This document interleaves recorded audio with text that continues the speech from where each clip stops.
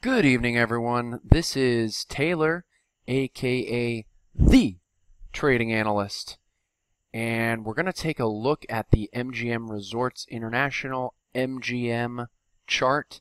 And I want to do a little bit of uh, gambling on this casino chart.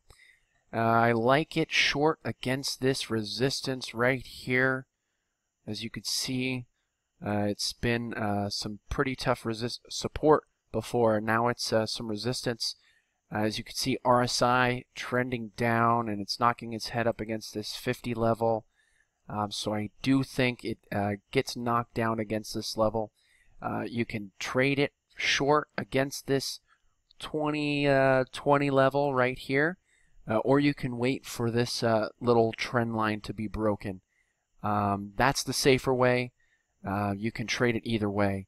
and I'm going to give this a little bit more room on the stop than I normally do. I think it could pop up to this 2050 level. Uh, so that will be my stop is a close above the 2050 level. Uh, but I do think it gets rejected right here. So uh, watch for that moving forward. Have a good evening.